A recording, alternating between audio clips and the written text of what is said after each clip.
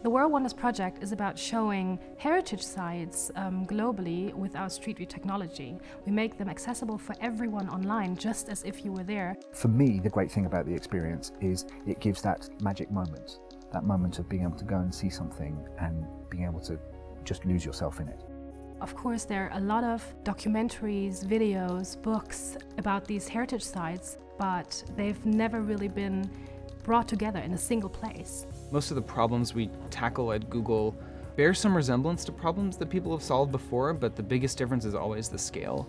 And when you're talking about scales like that, you can't apply the same techniques and approaches that have been used at smaller scales. You really have to start from scratch. There are a lot of challenges with collecting locations for Street View and even more challenges for the kinds of places that we're going after for Wonders of the World. The size of these places, the scale and scope, we have to spend a lot of time planning for how we're going to collect them.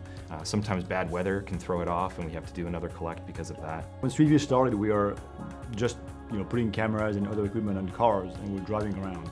But as the project grew, we realized that we also needed to be able to go where cars can't go. So we started by developing what we call the trike.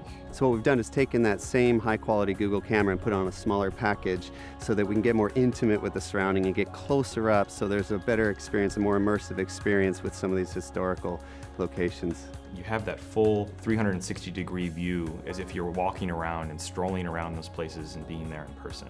There's something different about being able to get into the immersive experience and actually walk around that place.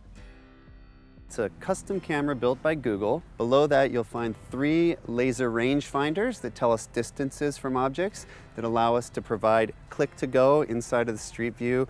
Inside of here we have a custom Google computer and a generator to power the system. And finally up here we have a monitor so the operator can see where they've already gone and where they're still going and a numerical keypad for them to interact with it and get the thing going. At Google, we, we believe that bringing more information online and making more information accessible is a prime goal. And so in some cases, we're able to take the camera equipment to places that you wouldn't normally be able to go as a tourist. With Stonehenge, you can actually walk amongst the, the, the, stones in the center and sort of see what it looks like from inside the circle. Here we have a little model of our trike uh, and a painted sphere that shows the 3D panorama. You can see the individual cameras that are used to create this high resolution spherical panorama that you can get inside and view inside the Street View client. Google is always trying to find new ways to bring Street View to people. For example, is the snowmobile. So we have some slope in Switzerland. Uh, we put a trike on train and we capture one of the most uh, known railroad in Switzerland. Uh, recently we went to the Amazon and there the challenge was to capture both on land and on the boat. And we ended up just putting our, our tricycle on the boat. There's going to be more ways to bring the product to more places like uh, bike trails, mountains, or uh, underground, whatever we, we can collect.